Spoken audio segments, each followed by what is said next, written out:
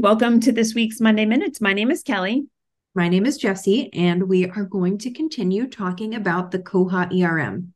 Today, we're going to focus on e holdings, and we're going to break this up into two different weeks.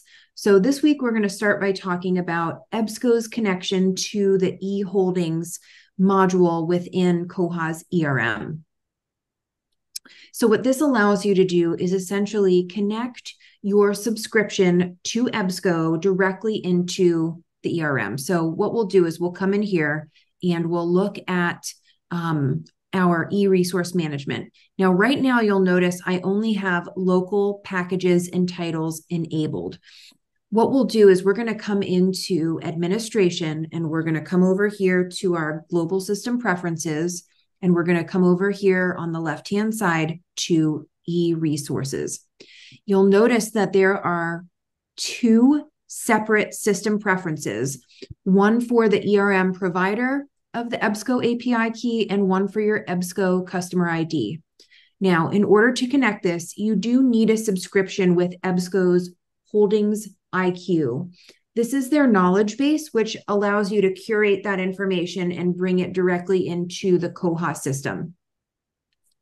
So there's a third system preference, and that is called ERM providers. And this is where you can actually come in and say, yes, I want EBSCO to show, or no, I don't want EBSCO to show. So if you don't have that subscription for EBSCO's Holdings IQ, you can leave that unchecked and then it will only show the local holdings.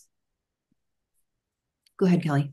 That's, that's super. I you know that's super helpful. A to know that it's a subscription. So if you don't have that subscription and you have no need for it then marking it just local.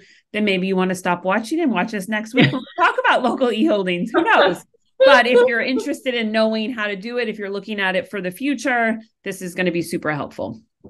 Absolutely. So now once we have the e-holdings um, enabled for ebsco again you'll enter in your ebsco customer id your ebsco API key. If you have the subscription to their Holdings IQ, you'll then see a option here for EBSCO packages and titles. This gives me the ability to come in and then actually search. So what it's doing is it's searching my EBSCO collection and then bringing those results in. So if I do a quick search here for psychology, and again, we're just going to search in packages.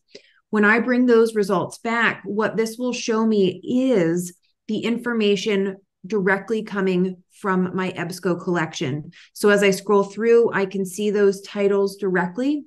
Um, it will show me them. If I click on that, it will add that information in, and then I could add that package to my holdings within the system. So this is just a nice way to be able to see that information directly in there. I could then see it at the title level. So if I click on that, you know, it will show me the information. And again, this is just coming directly from um, the EBSCO interface. Now, alternatively, you can also search by title. So if I come over here and again, do that psychology search, um, I'll be able to see any titles that are in there. And you'll notice if a little button shows up, it looks like a little green checkbox right here. That means that I do have access to that, that it's in my collection. Now, I will say if if you do subscribe to Holdings IQ, most likely you're using EBSCO's EDS or their discovery platform, so you'll be able to see those titles discoverable in EBSCO. When you were looking at packages, Jessie, I did see that you did have an option at that point to upload an agreement. So again, bringing that just yes. totality of the ERM module within the you know the view the kind of the bird's eye view of how it works bringing it back to our first video that when you're looking at this package you could break that down add an agreement and so on and so forth. Yep absolutely. So we could say here psychology collection select that. And now it's added in. Oh we get seriously excited about this stuff.